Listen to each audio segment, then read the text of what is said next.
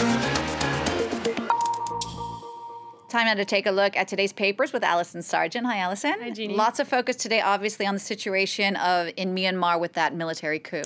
That's right. We can start uh, with papers in neighboring Thailand, where the Bangkok Post is not mincing words on their front page. Uh, my, Myanmar military stages coup, a very clear front page headline from there from them here.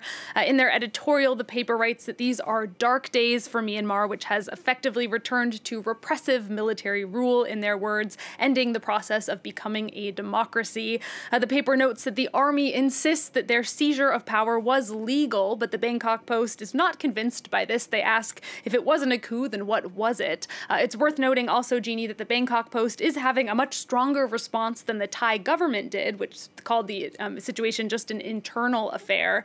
Uh, meanwhile, Chinese paper, the Global Times, is expressing concern as well, but the concern is more about stability than democracy. The paper suggests in its editorial that democracy might actually not not be the best way for Myanmar to achieve stability. The Global Times writes that democratic elections were far from enough to fully resolve the friction between Myanmar's military and civilian government, as well as the country's ethnic conflicts. Uh, the paper also accuses the West of forcefully advocating its electoral system and seeing what happened as a de facto coup, which the paper here doesn't think it was. Right. And speaking of the West, of course, there has been pretty unanimous condemnation from them. There has. A French paper, La Croix, headlines that Myanmar has returned to dictatorship dictatorship on their front page. Uh, the paper writes that the country has been plunged back into the quote nightmare of the years of its military rule. Uh, in a cartoon from Morten Morland of the Times over in the UK, we see the army general celebrating, being showered in confetti that you'll notice is uh, made up of ripped up ballots. Uh, he has a medal there on him, chest uh, on his chest, uh, shaped like Aung San Suu Kyi.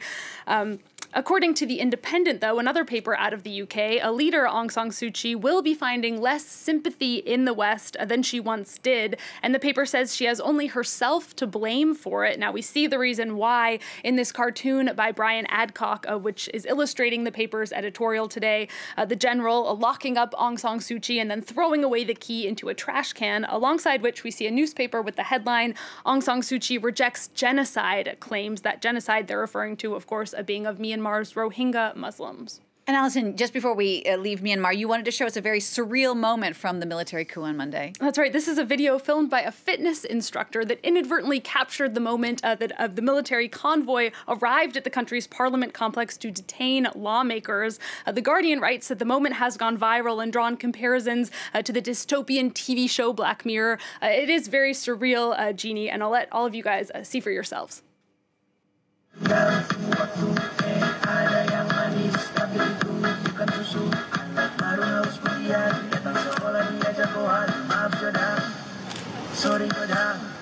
Abang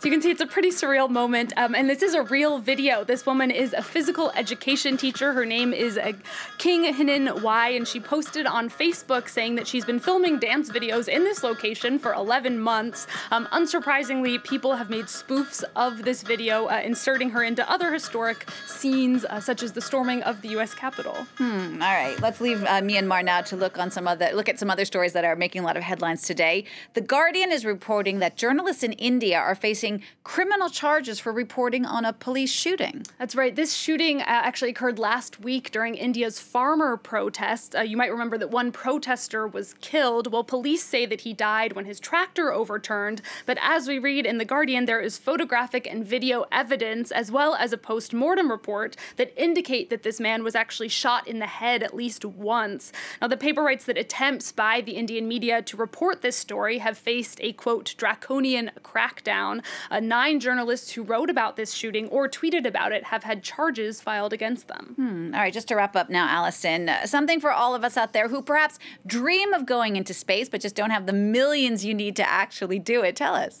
Well, just last week we were talking about uh, a group of billionaires who were each paying 55 million euros to go into space. But finally, Jeannie, there is a space opportunity for the rest of us. Uh, this one, though, also depends on a billionaire. Uh, as the New York Times reports, a man named Jared Isaacman, who was 37 years old, uh, is chartering a rocket and spacecraft from SpaceX for a three to four day trip.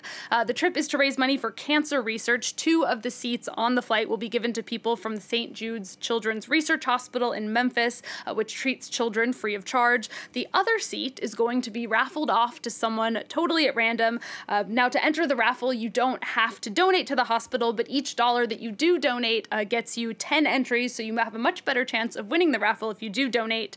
Uh, the only fine print I should mention is you do have to be a U.S. Uh, citizen or a legal permanent resident to enter, which is not a problem for us, Jeannie, but might be too bad for some of our viewers. Hopefully, a more internationally minded billionaire will come forward and offer a space trip for everyone. They should. That's a fantastic initiative. I would buy a couple dollars yeah, worth right? to get Why a chance. not? Let's Why enter not? for our chance. Thank you so much for that, Allison Sargent, with that look at today's press review.